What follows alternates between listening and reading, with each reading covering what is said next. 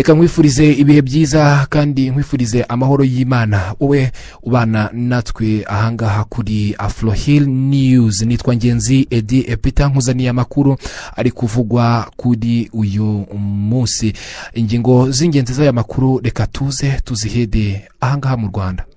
Perezida kagame witabiriye inama ihuza arabiya sawudite na afurika kuri uyu wa gatanu tariki icumi ugushyingo ibihumbi bibiri na makumyabiri na gatatu yagaragaje ko n'ubwo ibibazo byugarije isi byagaragara nk'ibikomeye ibisubizo biboneye na byo bishoboka binyuze mu bufatanye bw'ibihugu. Naho mu yandi makuru ari kuvugwa mu rwanda urukiko rwisumbuye rwa nyarugenge rwagize umwere titi brown wari ukurikiranyweho gusambanya umwana utarageza imyaka y'ubukure akamutera inda.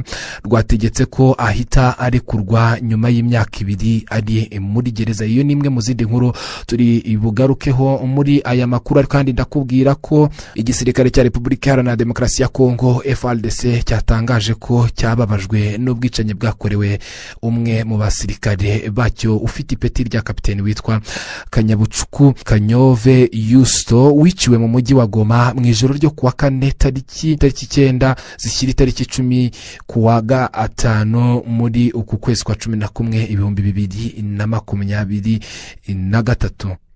Amakuru ngufitiye kandi turayasoreza kuri komisiyo y'ubumwe bw'uburayi yatanze tariki ya mbere ukuboza ibihumbi bibiri na makumyabiri na gatatu nka nyirantarengwa yo kuba ikigo cya meta n'urubuga nkoranyambaga rwa snapchat. Byatanze ibisobanuro birambuye ku buryo bwo kurinda abana ibintu bitemewe kandi byangiza bishyirwa kuri izi mbuga.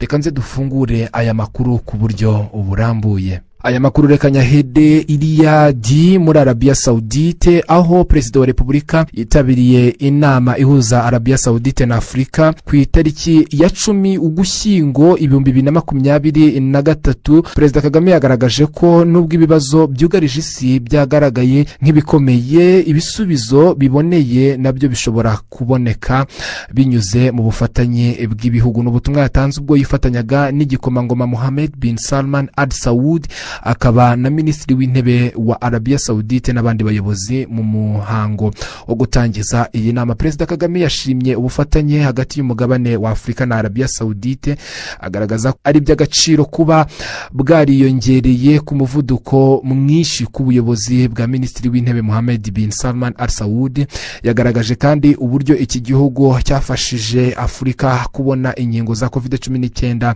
ku giciro kidahanitse.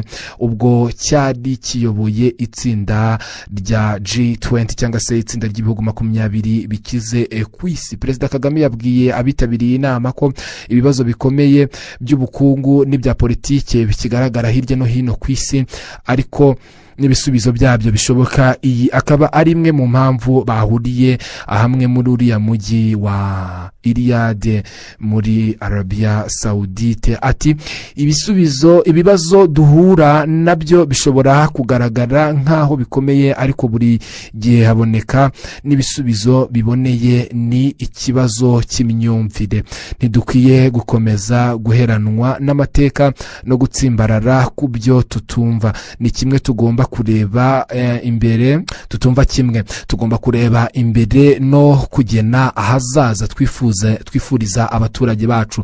Guhurira hamwe dukwiye kubibona nk'urubuga rwo kuzamura ubufatanye gushaka ibisubizo no gukora ishoramari ribyara inyungu. Igihe kirihuta ariko dufatanyije byose birashoboka. Perezida kagame yavuze ko u rwanda rwiteguye kungukira mu masezerano y'ubufatanye mu kubyaza ingufu iby'ubutabire bya hydrocarbons yasinywe hagati y'ibihugu byombi. Ku munsi w'ejo binyuze muri porogaramu ya oil sustainability program. Ni inama ikomeje guhuriza hamwe abayobozi batandukanye aho abayitabiriye barimo abayobozi ba za guverinoma batandukanye kandi barimo bageza ijambo ku bitabiriye iyi nama ishobora gufasha umugabane wa afurika ndetse na arabiya sawudite mu gutera imbere indi nkuru tugufitiye na yo. Nyuma y'imyaka ibiri akurikiranyweho icyaha cyo gusambanya umwana utaragera imyaka y'ubukure akamutera inda. Titi brown yagizwe umwere n'urukiko rwisumbuye rwa nyarugenge rwa nahise rutegeka ko arekurwa. Icyemezo cyo kurekura titi brown cyasomwe ku itariki icumi ugushyingo ibihumbi bibiri na makumyabiri na gatatu isa yine za mu gitondo aho kuba saa saba nk'uko byari byitezwe. Eh, mu cyemezo cy'urukiko ikirego cy'ubushinjacyaha cyateshejwe agaciro ndetse uyu mubyinnyi agirwa umwere. Hateshejwe agaciro kandi ikirego cy'indishyi ababuranyi b'impande zombi bari batanze urukiko rwemeza ko izo ndishyi zidatangwa mu rubanza. Ni icyemezo umucamanza yafashe nyuma y'iburanisha ryabaye tariki cumi n'eshatu ukwakira ibihumbi bibiri na makumyabiri na gatatu aho urukiko rwisumbuye rwa nyarugenge rwumvaga iburanisha kuri urwo rubanza. Uyu musore yari akurikiranyweho n'ubushinjacyaha icyaha cyo gusambanya umwana w'imyaka cumi n'irindwi bivuga ko yakoze ku itariki cumi n'enye eh, kanama ibihumbi bibiri na makumyabiri na rimwe ku itariki ya gatatu ukuboza. Urukiko rwategetse ko titi brown afungwa iminsi mirongo itatu y'agateganyo nyuma yo gusanga hari impamvu zikomeye kandi zihagije zituma akekwaho icyaha cyo gusambanya umwana. Kuva icyo gihe titi brown yatangiye kujuririra icyo cyemezo kugeza tariki ya cumi ugushyingo ibihumbi bibiri na makumyabiri na gatatu itariki yagiriweho umwere kuri iki icyaha n'urukiko rwisumbuye rwa nyarugenge. Titi brown ni umwe mu batoje akanabyina imbyino ziri mu ndirimbo nka kamwe ah, ya dj pius na bruce melody amashu ya na foresita za chris izi n'izindi zakunzwe na benshi mu rwanda.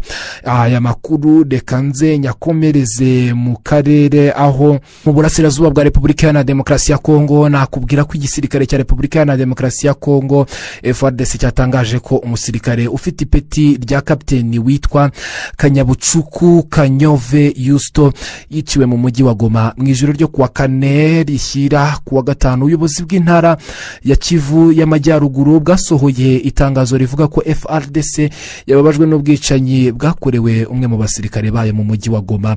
Mu ijoro ryo ku itariki icyenda rishyira tariki icumi ugushyingo bibiri na makumyabiri na gatatu. Rigira riti iperereza ryahise ritangira ngo hamenyekane icyateye urupfu rw'uyu muvandimwe.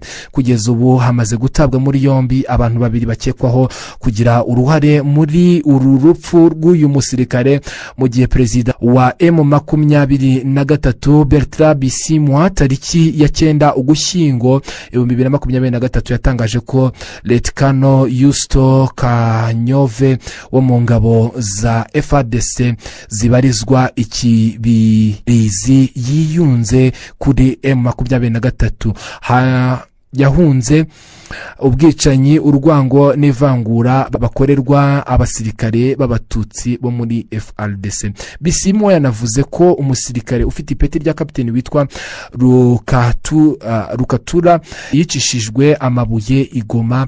Hashize iminsi mike intambara hagati y'ingabo za frdc n'imitwe bafatanyije irimo n'uw'iterabwoba wa fdlr na m makumyabiri na gatatu yongeye kubura ndetse yasatiriye n'umujyi wa goma.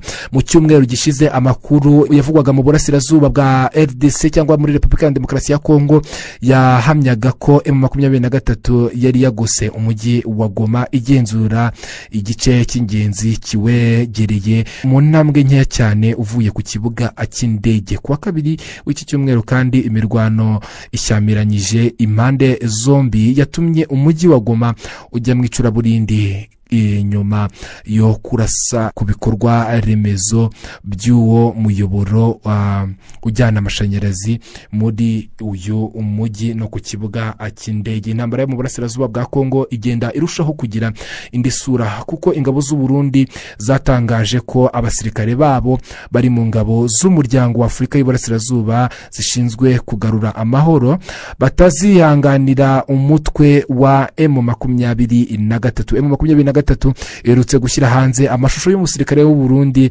bivugwa ko yafatiwe mu mirwano ashyigikiye ingabo za kongo mu rugamba rwo kurwanya uyu umutwe aya makuru twayasoreza avugwa muri kongo ku bibazo birimo bigenda bigaragara aho nk'uko bigenda bitangazwa n'ibinyamakuru bitandukanye biravuga ko Moise Katumbi atumva uburyo u Rwanda ruba urwitwazo mu bibazo bya Kongo uyu ni umwe mu biyamamariza kuyobora iki gihugu cya Repubulika iharanira demokarasi ya Kongo muri aya makuru kandi twakubwiye ko komisiyo y'ubumwe bw'uburayi yatanze tariki ya mbere ukuboza uyu mwaka nka nyirantarengwa yo kuba ikigo cya meta ari cyo gifite imbuga zirimo facebook n'izindi zitandukanye ndetse n'urundi rubuga nkoranyambaga rwa sinapu kuba byatanze ibisobanuro birambuye ku buryo bwo kurinda abana ibintu bimwe na bimwe binyuzwa kuri izi mbuga ariko bigasa nk'aho byangiza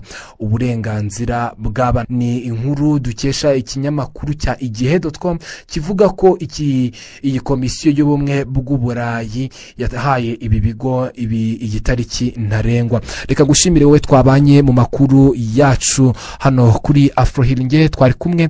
Nitwa ngenzi edi peter. Ibihe byiza.